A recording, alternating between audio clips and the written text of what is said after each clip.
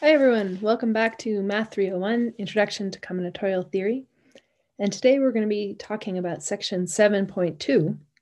The idea is to connect things that we already learned about binomial coefficients, Pascal's triangle, and the binomial theorem with generating functions, which are the new topic of chapter 7.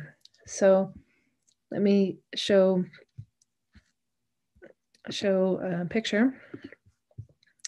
We're going to do a very easy problem and then see how it connects with generating functions. So let's say you have four fruits in the fridge, strawberry, banana, orange, and mango, and you want to choose some number of them. So let's say you want to um, choose, choose two of them. Well, the number of ways to do this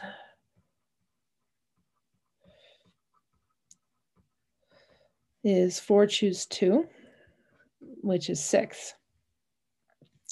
But now maybe I want to change the, the, the number that I want to choose. So I could figure out um, how many I want to choose, and I could think about all the possibilities of k. So I could choose k to be 0, 1, 2, three, or four. And then the number of ways to choose k of them, well, there's only one way to choose nothing. There are four ways to choose one piece of fruit.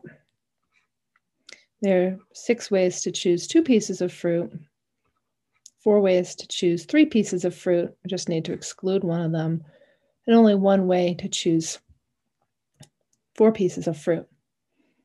So this is the fourth line of Pascal's triangle. So now we're going to do the very same problem, but using the method of generating functions. Of course, it's going to be more complicated because this is the easiest way of doing this problem, but it is possible to do this problem using generating functions also.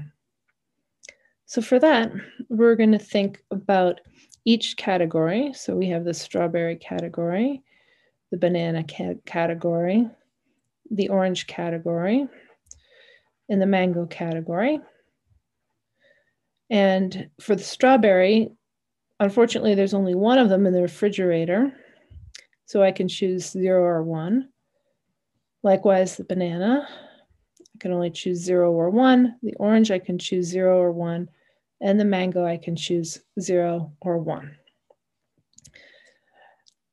And then the number of pieces of fruit I'll have will be the sum of the four values that I pick here, whether it's, for instance, one way of getting two pieces of fruit would be if I picked one strawberry and one banana. So that would be the sum of one and one.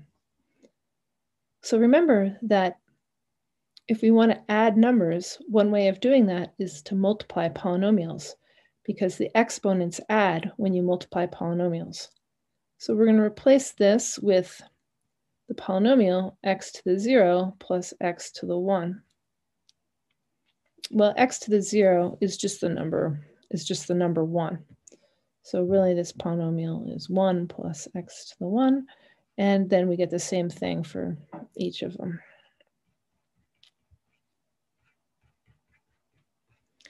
So then we're going to multiply these four polynomials.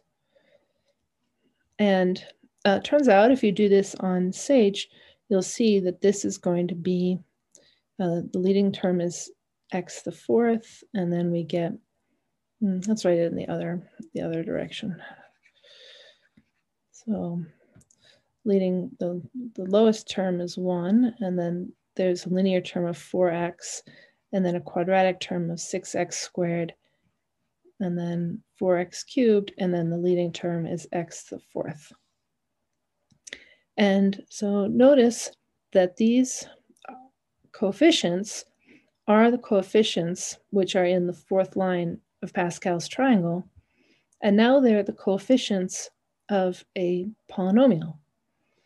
So what that tells us is that 1 plus x to the fourth is the generating function for the sequence that starts 1, 4, 6, 4, 1, and then continues with lots of zeros.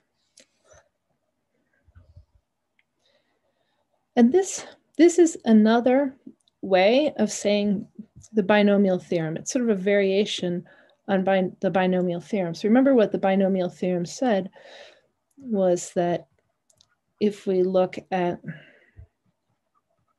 if we look at x plus y to the n, then this is the sum of x to the n minus k times y to the k times the coefficient n choose k as k goes from 0 to n, which is a fancy way of saying that when you expand this, the coefficients are the nth row of Pascal's triangle because that's nth row is all the binomial coefficients n choose k as k goes from 0 to n.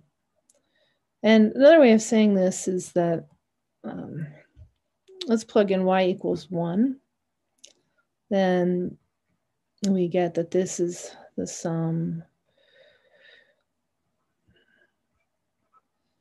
of n choose k times x to the n minus k. And so, um, and so this, this, oh, I forgot the n. And so this, this is what we just said a moment before. There's a slight change of variables here using the fact that n choose k is the same as n choose n minus k. So we can well, to really do this well, we would rewrite this as n choose n minus k times x to the n minus k as k goes from 0 to n. And then we would do a change of variables where we would uh, replace n minus k by l. And then when k is 0, l is n. And when k is n, L is zero. And, and so that's just um, a fancy way of just saying that we have the sum, I'm going to switch back, sum of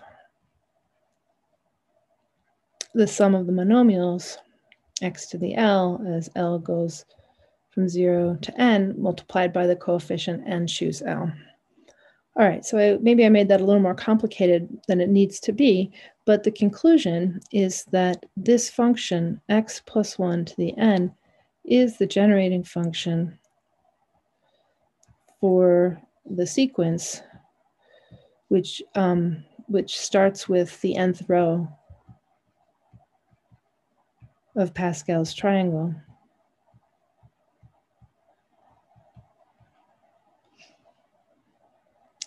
And so you can think about what we just did on the previous slide with the explanation about why this is the generating function being essentially another proof of the binomial theorem. Okay, so that's just another example of generating functions that we've already seen in the text. See you next time.